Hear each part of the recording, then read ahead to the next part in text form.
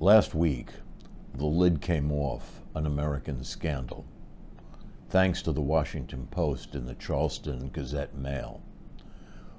We unearthed the data from 2006 to 2012 about opioid pills.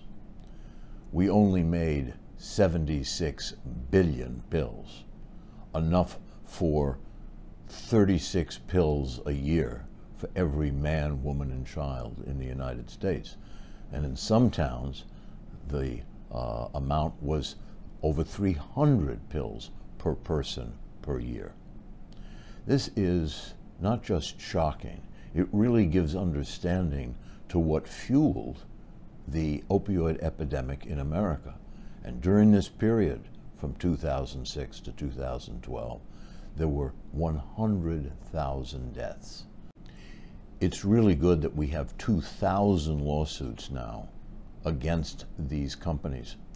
And this could produce billions of dollars in penalties.